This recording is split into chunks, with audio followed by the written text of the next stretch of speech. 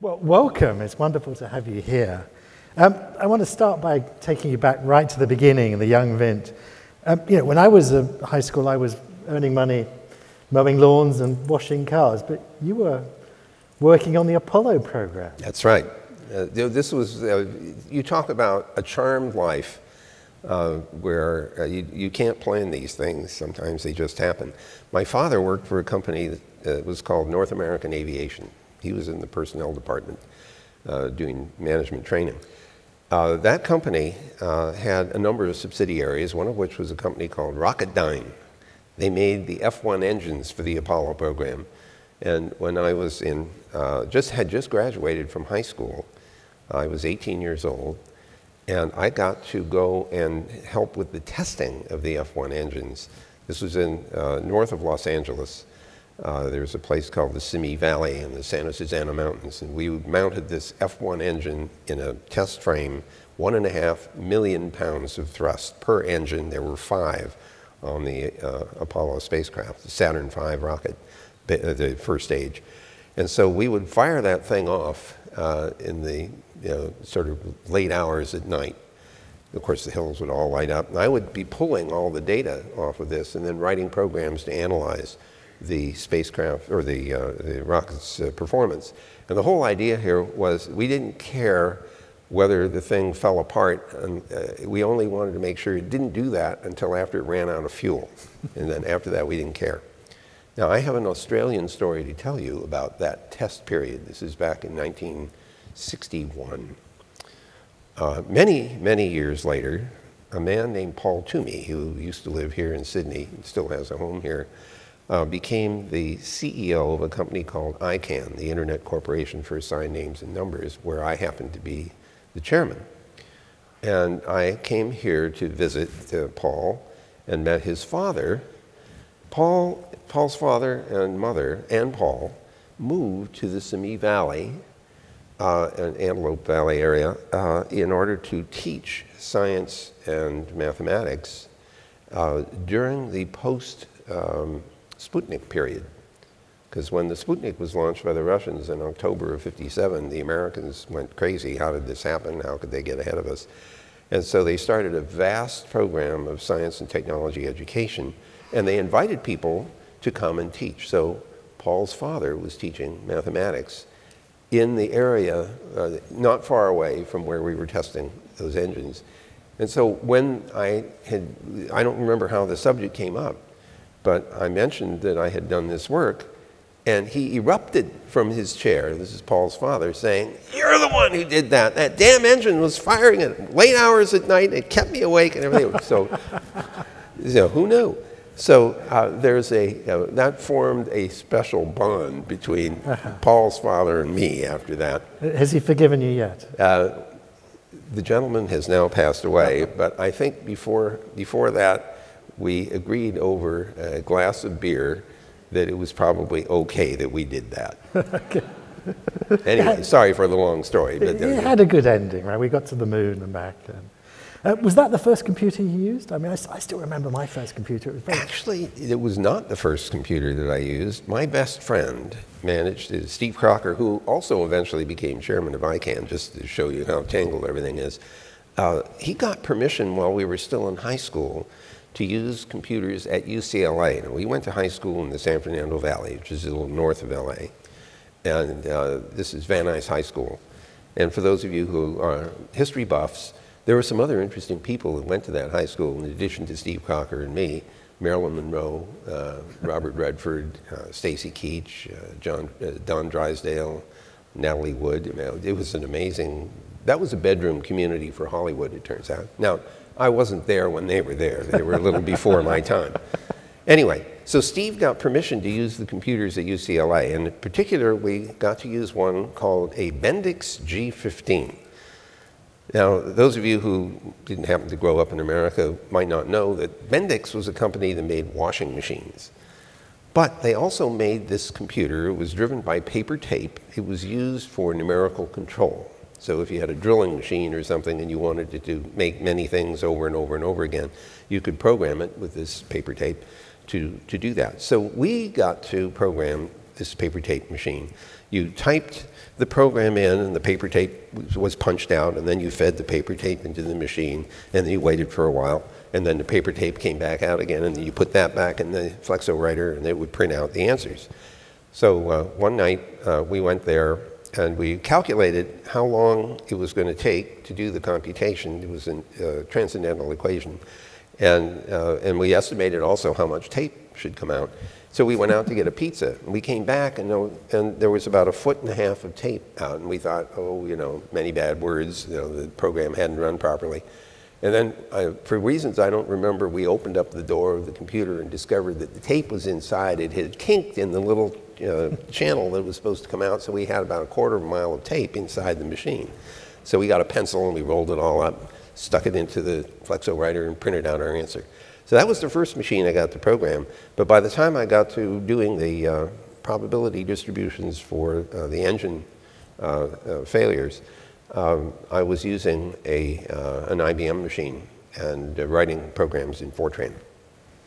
So it, was, it was just the most wonderful combination of space and computing. I mean, you, you, can't imagine how much fun that was because I was thinking, you know, it's 1960, 61, and I'm thinking 20 years from now we'll be launching these things every two weeks and we'll have, um, you know, uh, some a habitat on the moon. And, you know, I was reading science fiction at the time. Of course, 20 years later, it's 1981, and no such thing happened.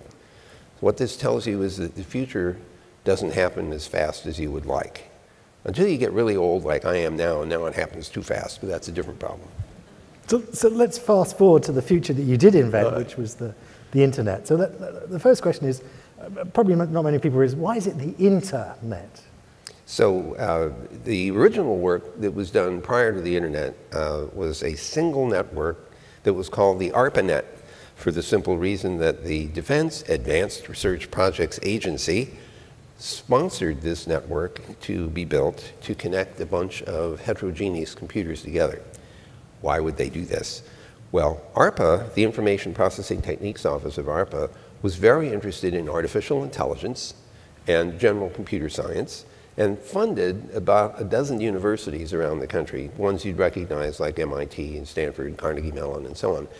And every year, each of the computer science departments would say to ARPA, you need to buy us another world-class computer so we can do world-class research. And even ARPA couldn't afford to buy a dozen computers for a dozen universities every year. So they said, we're going to build a network and you are going to share. Of course, everybody hated that idea, but they said, we're building the network anyway. So we built the ARPANET, and we turned it on in 1969 had four nodes, uh, UCLA, UC Santa Barbara, SRI International, and University of Utah, which grew fairly rapidly to 40 or, or so sites. So that demonstrated that you could take different brands of computers from IBM and Hewlett Packard and digital equipment and make them talk to each other with a common set of protocols over a single homogeneous packet switch network. Okay, so that's a big milestone. And then, uh, after I, my stint at UCLA, I went up to Stanford and continued research on networking. And Bob Kahn, my partner in the internet design, showed up in the spring of 73. Now, he had gone to ARPA by this time, and they're already thinking, wow, this, this ARPANET thing really worked well. Maybe we should consider using computers in command and control.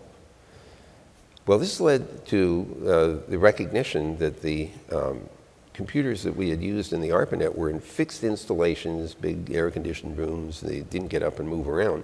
But if you were serious about using computers in command and control, they'd have to be in mobile vehicles and ships at sea and aircraft. Well, we had used dedicated phone lines to build the ARPANET, and you can't use dedicated phone lines to connect the airplanes to each other or the cars. You know, the tanks run over the wires and they break and the ships get all tangled up and the aircraft never make it off the tarmac. so we had to, Bob, when he showed up in my office at Stanford, said, uh, ARPANET was a big success. Now we have to do mobile radio and satellite, packet satellite and packet radio, in order to support this use of computers in command and control. So uh, he had started work on a mobile packet radio system and a packet satellite system over the Atlantic to link uh, the western part of Europe to the eastern part of the US. So we had three packet switch networks to worry about at this point instead of just one. And on top of all that, Xerox had the Palo Alto Research Center in Palo Alto, about a mile and a half from my lab at Stanford, and they were doing Ethernet. May of 73, Bob uh, Metcalfe and uh, David Boggs introduced us to a 3 megabit Ethernet using coaxial cable. Uh, and of course, eventually it, it went up in speeds to gigabits, 10 gigabits, 100 gigabits. So we had four different classes of packet nets to be con uh, concerned about. And our task was to figure out how to make it look like one network in spite of the fact that there were multiple of them, arbitrarily large numbers of them in any part of the world where the military might have to go. So that was the internet problem. And we called it internetworking, but that took too much, you know, it takes too long to say that.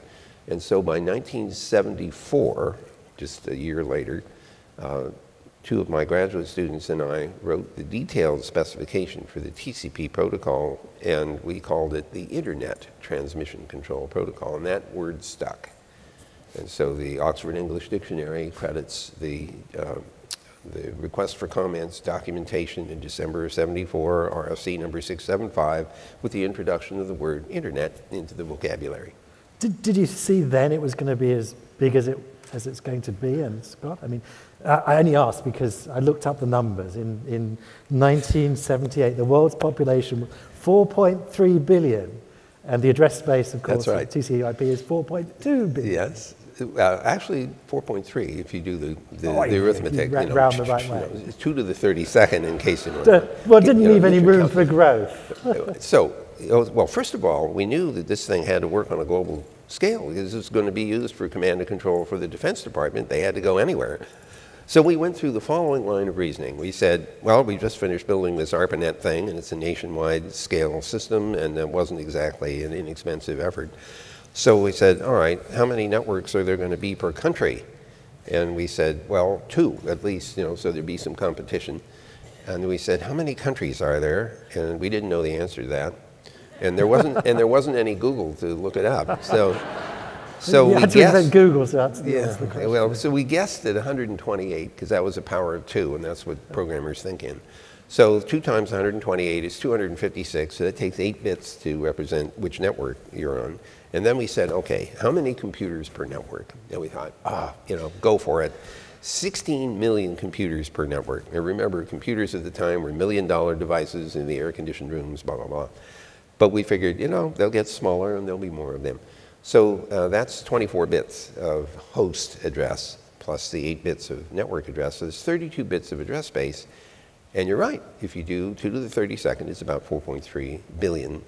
And that was sort of close to the population of the Earth. So we thought, surely that's enough to do an experiment. And it was. Uh, and I thought, after I moved to Washington to run the program in 1976, that if this all worked, that we would then do a production version of the system. So I was sitting back thinking, you know, if we would understand more deeply how much space would be needed. Well, that didn't quite work out the way we thought because around 1989, the network escaped the lab and became commercially available. And, and, and not in any small part to my pushing for that outcome, because I really wanted the rest of the world to have access to the system, not just the computer scientists, the academics, and the military. So uh, the system is, you know, takes off in the commercial world, still using the 32-bit address space. So by about 1992, we realized there's this massive proliferation of networks all over the world. It's, it's not hard to create another Ethernet, for example, in various campuses. And there were uh, commercial and, and government-sponsored networks are happening all over everywhere. So we say, okay, we know we're going to run out of network address space.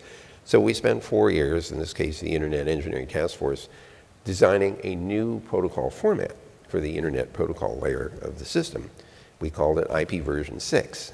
The previous one was IP version 4, and in case you wonder what happened to IP version 5, that was for video and audio conferencing, and it didn't work, so we abandoned that. and we went on to the next number. 128 bits of address space is um, 340 trillion, trillion, trillion addresses.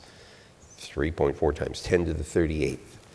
And so I thought that everybody would instantly see the utility of having the larger address space, have larger numbers of networks and large numbers of devices that were getting smaller and smaller. It, and so and the answer is nobody bothered to implement IPv6 because they said they hadn't run out of IPv4 address space. And I said, but it's obvious that we're going to need it. And they said, nobody's asking for it. So for the last 22 years, I and many of my colleagues, including some of them here uh, in Australia, Geoff Huston in particular, uh, who was one of the founders of the uh, Australian Academic Research Network, AARNet, have been pushing. And so we're about 30% penetration now. But eventually, V4 is going to have to go away because we've run out of those addresses. They're not available anymore. And so people are trying to buy and sell 32-bit addresses when they could be getting 128-bit addresses for practically free. So there's one calculation that, uh, that Bob and I messed up. But at the time, uh, we didn't realize that we should have been shooting for a much larger address space. Anyway, they're running in parallel now, so at least you can rest easy. There's a place to go when you need all those devices for the hundreds of IoT things you have at home. So you, you mentioned that you were very keen to, to get the internet to be commercial. I remember when I started as an undergraduate back in the 80s, there was this real ethos. You shouldn't do anything commercial. It would spoil the place. And, and it was not allowed, and people would jump up and down and oh, berate you loudly. Yes. But, but you had a different vision. Well, uh, I can tell you how this came about. Um, I had a good friend, have a good friend, whose name is Dan Lynch. He started a, an organization that he called Interop for interoperability. It was a, uh, essentially an exhibition and training uh, service about how to build and operate and acquire pieces of uh, internet technology. So uh, this uh, uh, exhibition started around 1986 and a few hundred people came. By 1988, 50,000 people showed up in San Francisco at the Moscone Center uh, for both training programs and you know, learning new things about what you could do with the internet protocols and also demonstration of equipment that was available commercially. So I remember walking in to the exhibition hall with Eric Benhamou, who was the CEO of 3Com, a company that Bob Metcalfe had started. Uh, and I was confronted with a Cisco Systems two-story uh, display. Uh, it was, it was enormous. And I just stopped and I turned to Eric and I said, Eric, how much do those displays cost?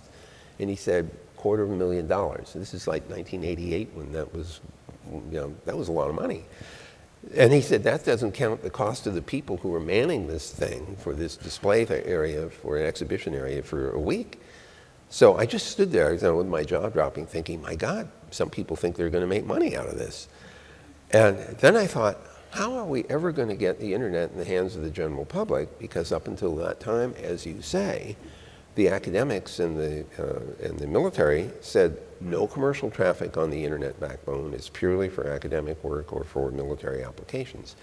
And so I wanted to find a way to break that um, barrier.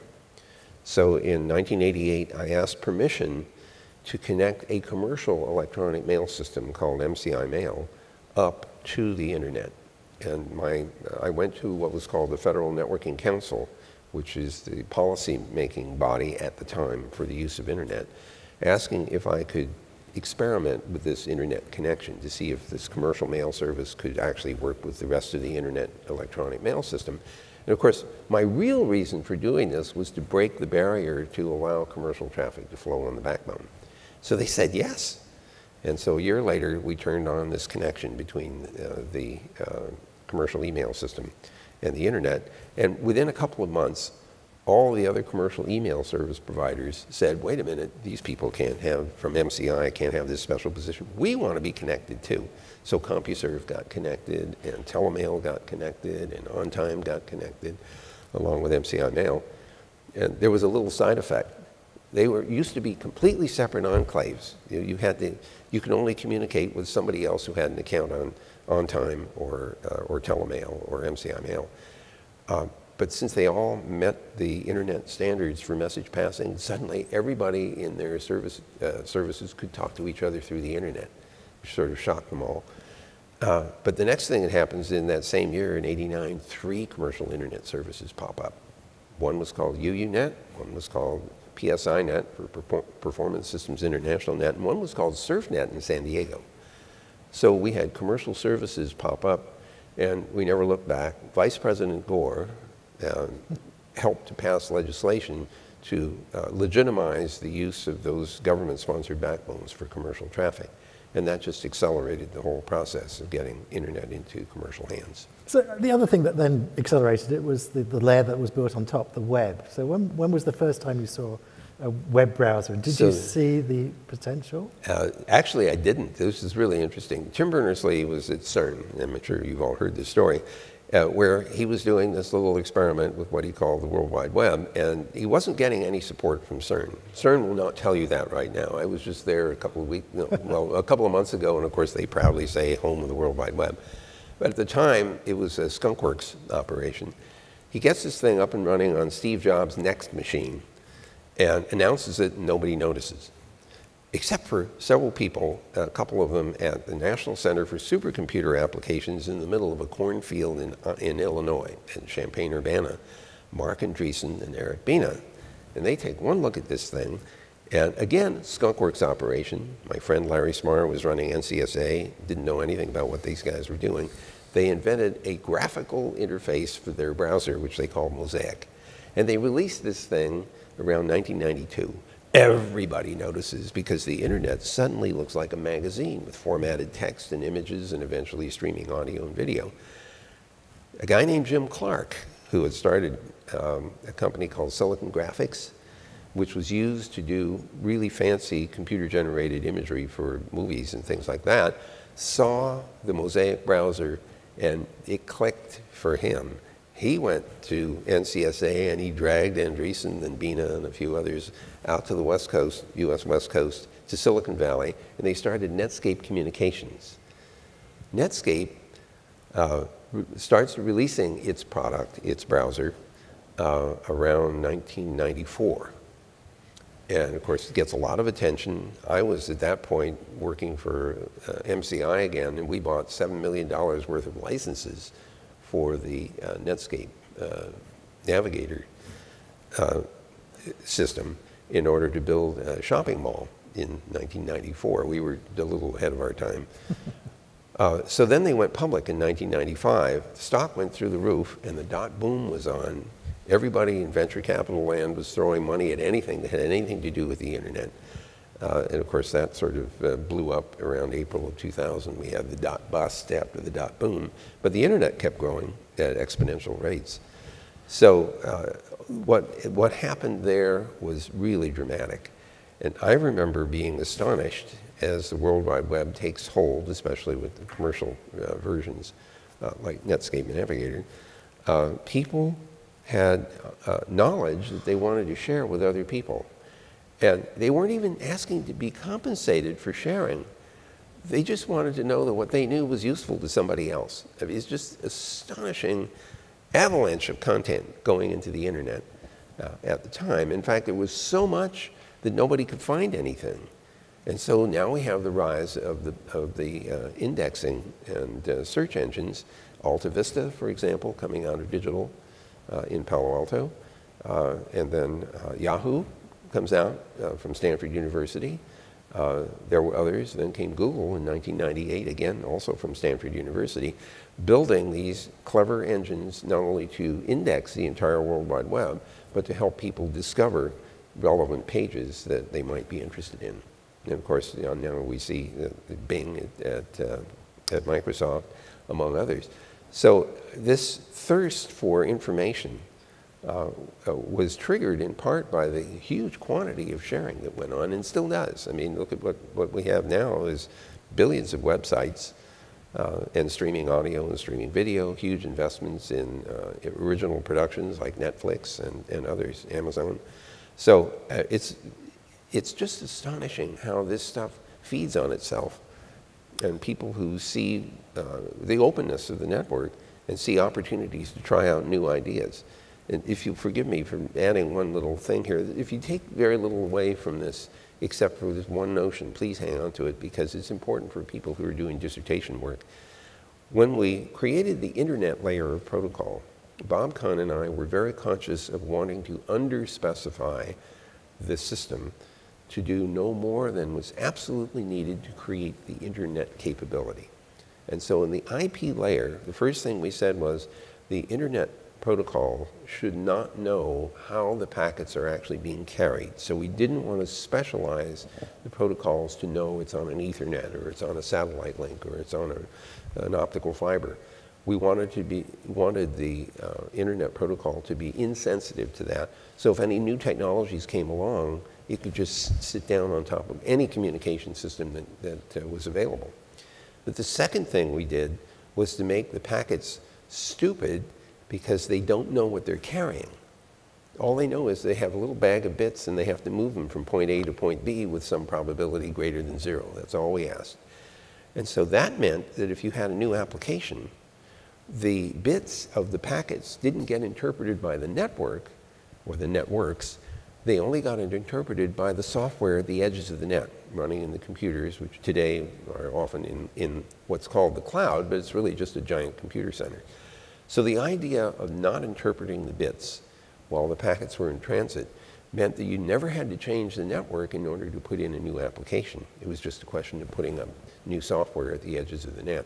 I can tell you that that has triggered an avalanche of content and also applications on the net without having to change anything on the inside. So that brings us to the idea of net neutrality, which is also sort of fundamentally built into that structure. So, uh, you know, are we at risk of losing all of this benefit because net neutrality is at risk now? Well, yes, I'm very concerned about this. And remember that the term net neutrality has been sort of interpreted and reinterpreted in different contexts in different parts of the world. So I don't want to try to speak to the Australian scene necessarily. I can tell you what happened in the US uh, in sort of a short uh, sequence. The original uh, treatment of internet was to just not regulate it at all, just leave it alone. Uh, and, and that was a, a, decision made by the American Federal Communications Commission, and the Congress agreed with this general treatment. Just leave it alone. It's too early. We don't know exactly where it's going to go.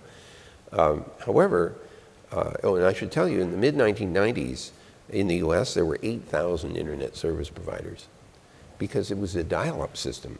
You would dial up a big modem bank and then log in to use the internet. And so there were thousands of these internet service providers.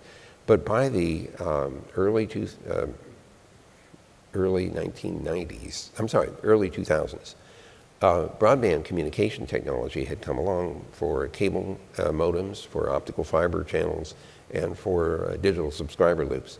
Suddenly, we could get tens of, of, megabits, hundreds of megabits a second, instead of a dial-up modem speed of 50 kilobits a second.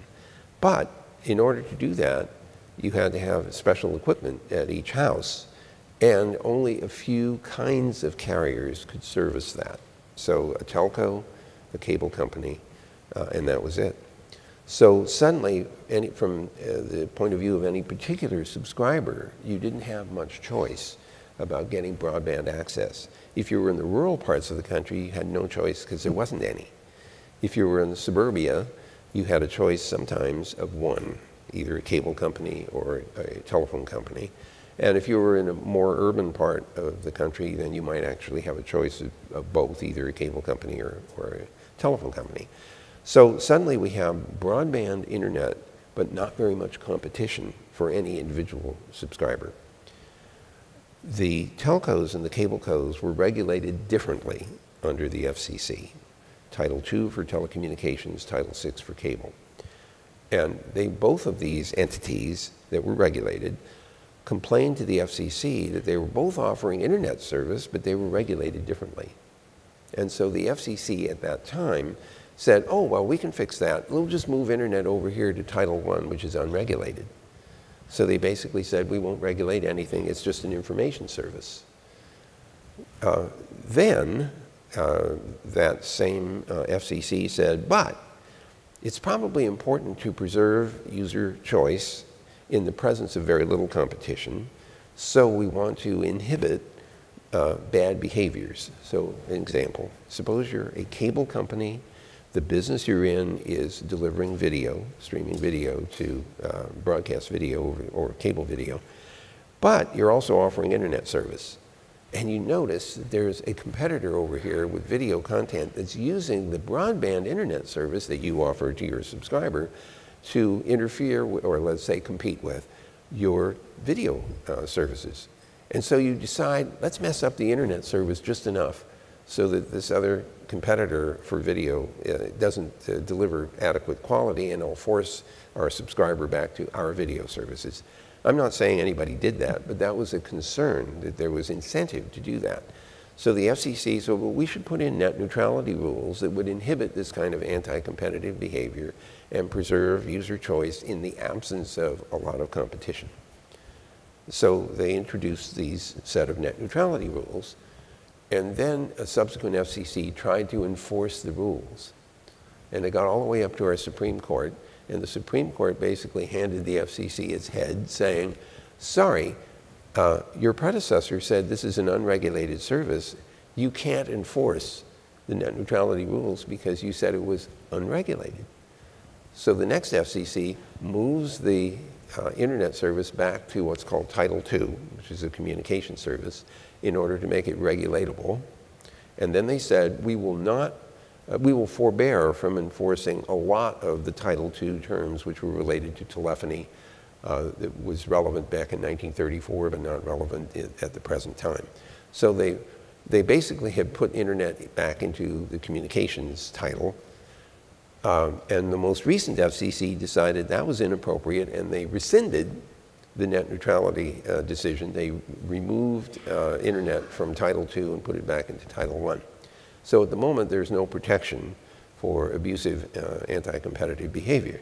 The correct thing to happen is a title should go into the Telecom Act specific to internet, preserving the basic net neutrality rules to avoid anti-competitive behavior and, not, and nothing else. But we happen to have a Congress which is having trouble passing any legislation. and so getting a new title uh, into the it's Telecom distracted Act by is, other problems. Yeah, something like that. So you know, whether you have that problem, I don't know, but we should be preserving those principles everywhere. Users should have choice. They should be protected from anti-competitive behavior. And that's all that, that, we're trying to accomplish. So in, in the interest of time, I'm going to move you much more up to date. And uh, you've done lots of interesting jobs, but now you're working at Google. Um, whose idea was chief internet evangelist? So I actually didn't ask for this title. Um, I was briefing the House of Lords in, in England, and, and they asked the same question because Chief Internet Evangelist was kind of an intriguing title. And I explained to them that when I joined the company, uh, Larry and Eric and Sergey said, What title do you want? So I thought about that for a little while, and they said, How about Archduke? and, and, and the House of Lords immediately understood this. They thought that was a, you know, a perfectly sensible thing to ask for. But then Larry and Eric and Sergey went away and they came back and they said, you know, the previous Archduke was Ferdinand. and he was assassinated in 1914. And it started World War I. That sounds like a bad title. Why don't you be our chief internet evangelist? So I said, okay, I could do that. So that's what I am. so Google's been a lot in the news recently. Um, there's been this controversy about Project Maven, this use of artificial intelligence for, for interpreting satellite imagery and drone imagery. Uh, what's your take on that? So this did lead to, this is a, a, military project to try to use artificial intelligence to understand situational awareness. I mean, imagine uh, drones, this, you could imagine scenarios that are non-military, by the way, in you know, safety and security situations, crisis situations, having uh, drones uh, observing uh, the area and trying to understand what's going on, to identify what's in the field of view, what vehicles are present, and so on. Uh, you know, what other conditions can it identify? So situational awareness is a, is a really important capability to have. Um, the, uh, the project uh, was not to do what some people thought it was to do, which was to try to identify people's facial images and then you know, shoot at them with drones. That was not what the project was about. But, it, but that was sort of overtaken by a concern for the use of artificial intelligence in military applications. So that led the company to uh, uh, spend quite a bit of time, several uh, months, uh, certainly many weeks, uh, trying to put together a set of principles that we would uh, adhere to in the use of our artificial intelligence and machine learning technology. And so that set of principles has now been published. We made that publicly open. Uh, we will follow those rules, and particularly when there are applications that, uh, that arise where there is uncertainty about uh, the potential hazard of, of, applying our technology, potential harms to, to people. Uh, we have, will have um, a review panel that will determine whether we will or will not pursue those particular applications. So uh, that was an important um, discussion for us to have, painful sometimes because there were strong feelings about uh, these things. But I think it was a good thing, and we've ended up now with a very good set of rules that, uh, that we will apply for our AI stuff. So what's, what's your general take on AI? I mean, I'm, I'm personally interested because I'm a professor of AI. I've spent my life dreaming so, about building machines. So uh, my, I'm not expert in this, although I've grown up with it in a sense, because even when I was at ARPA back 40 years ago, 1976, there was an artificial intelligence activity there. Um, I can say that I've always been a little skeptical.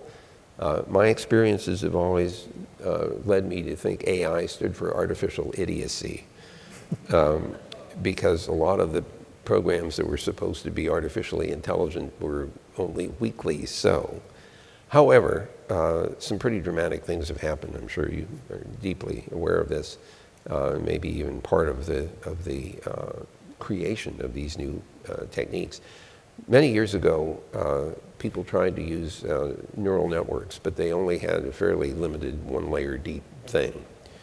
And Minsky and Papert, as you will remember, published a book called Perceptrons that basically trashed the idea of building a computer-based neural network to emulate the way we sort of thought the brain worked. And so for a decade or more, uh, that field was ignored as being a waste of time. But there were a few people who persisted, and they figured out that, that we could now build multi-layer uh, networks, hundreds of layers deep. And that led to some very powerful results. So some of you have read the headlines about the uh, AlphaGo program from DeepMind, one of our subsidiaries in London that played against some of the world's best players of Go and won. Then more recently, um, we had an AlphaGo Zero program, which uh, starting with only the rules of Go, uh, within something like 30 days or so, learned to play Go as well as any of our previous AlphaGo programs had. And in a few hours, learned to play chess, starting just from the rules of chess uh, and no other exposure to human games, learned how to play chess better than any known, uh, that we know of, computer-based chess program. And what's very curious about the uh, chess case is that there were moves being made that, that no one has ever seen before. And so it's, it's pretty clear that the machine learning mechanism discovered ways to play chess that most humans had not discovered before. So that's pretty interesting stuff. The part that uh, I'm nervous about and I hope you are too, is that these are brittle systems. They are very narrow, they're deep and narrow in their capabilities, and they are not representative of what we would call gen artificial general intelligence. So what you and I do as human beings is take very small amounts of experience and generalize that by abstraction and model building. And that's not what we, at least I'm not aware of any programs that are really effective at that. Um, to give you a tiny example of what you do that machines don't, we know what a table is. We know that anything that's a flat surface that's perpendicular to the gravitational field can serve as a table. Okay, I know most people don't think of it that way, but, but that's really what's going on. Anything like this thing is flat, perpendicular to the gravitational field, and the flat surface could be used as a table. So we've already generalized all cases of flat surface perpendicular to the gravitational field as serving as a table, which could be your lap, it could be a chair, it could be a real table, it could be this stage. Think of that. In just a few little examples, we've just generalized the notion of table, even if it doesn't look like a classic table. Human beings do this really well. Computers don't do this very well at all that I know of. So turnabout's fair play. What's your take on this? And you know, do you have the same reaction I do about the generalization, the capacity to generalize that a machine learning system at the moment does not seem to do. Yes, I mean, that's, that, that's why it's called artificial intelligence. It's not natural intelligence. It's not natural quite- intelligence. It's quite a different, as you say, quite a brittle intelligence. And So, but let, let- we're running short of time, so we're going to go to questions quite soon, so start thinking of your questions. Um, but before, as Emma mentioned in the introduction, I mean, one of the interesting things about you is all the other things you've done outside of, the, of your immediate day job. Uh, so I just want to talk a little about some of those things. So you're very passionate about preserving our digital heritage, I am. which, which is strange because, you know, zeros and ones don't change. Uh, yes. Well, you know, that's, we don't want to propagate that misunderstanding, Toby. Every one of you that's got a mobile phone, you take all these bazillions of pictures, somehow they all seem to be there, right? They don't seem to go away, so they'll be there forever, right? Wrong. Because they are instantiated in a physical medium. And the physical media don't necessarily last forever. There are people in this room, I am sure, who have five and a quarter inch floppy disks gathering dust in their you know, basements and closets and whatnot, and they can't find a floppy reader anywhere. Well, the Smithsonian or you know, one of your local museums maybe. Same problem with three and a half inch floppy disks, or with CD-ROMs, or with DVDs, or with Blu-ray, uh, or with disk drives whose, whose interfaces you can't find a plug to connect to. So we have a big problem. I call it the digital dark age. And it is that we don't uh, curate our digital content with much care and until we realize we can't get it again. It's gone. I can't read the, the bits anymore. So I'm a big fan of trying to create a regime in which we can assure ourselves that the digital content can be moved from one medium to another so it's still readable, uh, that we are able to preserve and run old software to correctly interpret the bits, because that's another problem. Think of a spreadsheet. A Spreadsheet is a bunch of bits organized in a particular way.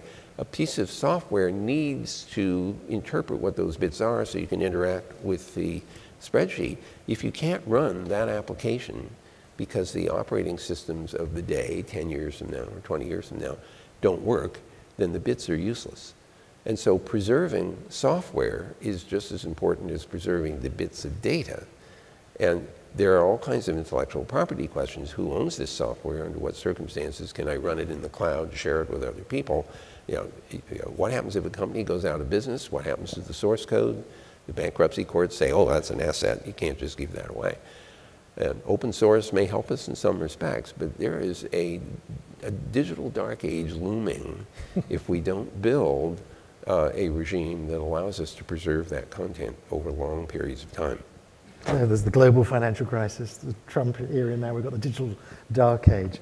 Tell, tell us about um, Koko, who's sadly no longer with us. Uh, uh, about what? Uh, Koko. Oh, oh, oh, yes. Oh, this is a sad story. Well, it's a lovely story, but it's sad because Koko just passed away just a f- a few days ago. Koko was a 42-year-old gorilla, uh, but Penny Patterson uh, was at Stanford University around 1972 or so, uh, and, and uh, brought a six-month-old Koko with her to see whether she could teach this uh, gorilla to sign. And so she lived with Koko, and for now for four decades in the, in the end. And Koko learned to sign using American Sign Language. Uh, I wouldn't say that Koko was, um, you know, as prolific as a typical human uh, ASL signer, but uh, Koko had a vocabulary that surely was on the order of a thousand or more words. And she also seemed to understand uh, some amount of spoken speech as well. So uh, I used to sit on the board of the Gorilla Foundation, which uh, housed and supported Koko. And I remember visiting Koko one day, and the first thing that uh, Koko wanted me to do was to come inside her enclosure and play chase. Koko weighed 400 pounds. a bit dangerous. I, I, decli- I declined the invitation, uh, but then Penny explained that Koko then said, well, would I play some music for her? And uh, so Koko wanted me to get a blade of grass, put it in between my thumbs, and blow on it to make a little noise. And I've never done that before, so it took me a while to get that to work right. And Koko was happy. So uh, I was really struck by the level of intent that you could feel coming from this uh, non-human species. And since that time, I've become very fascinated with the idea of other species, non-human species that have intelligence that we should be thinking uh, to communicate with. Uh, dolphins, for example. uh, elephants. Uh, it's amazing how intelligent these animals are, and they show evidence of self. They understand self. If you put up a big mirror, you will see the dolphins recognizing that, that what they're seeing in the mirror is themselves, and they do all kinds of acrobatics because they enjoy watching themselves do it. So these other animals are similar in nature. So uh, I'm also working with a team on an interspecies internet to link species together, non-human species together, to see if we can get them to communicate. And you know, we don't have a lot of time to go into that in detail, and it's still early days. But the idea of uh, getting non-human species to communicate with each other, let alone with us, is absolutely fascinating. And so that's yet another little side, side branch in the things Great. I get okay. to do. If we could have the lights up, we can take some questions from the floor. Well, we've got two microphones. Come to the front. Come to the front, and Perfect. we'll, we'll Okay. take alternate questions, and I'll, I'll look at Twitter and see if there's anything interesting on Twitter. Hi, yeah. Thanks for coming and sharing with us. And uh, thanks for you and Bob Kahn for fathering the internet. Has a little bit of LGBT feel about that statement, but it's, it's become such an integral part of the fabric of human existence for most of humanity that after 40 years of studiously avoiding universities, two years ago I went back to do a degree course on networking. So I'm just catching up with you now. But the question is, two statements made by other people. Tim Berners-Lee, he mm-hmm. said, we, we all now have the internet we built. Now it's up to all of us to build the internet we want. And Professor Lawrence Lessig of Harvard, in a different flavor, and they do to know each other quite well, said something. Essentially, he said, We screwed up the internet at its birth. Let's not screw up blockchain. Do you have an equivalent philosophy or statement in the same flavor of where we could go with this? So uh, I don't think we've screwed up the internet, so I don't agree with Tim on that point.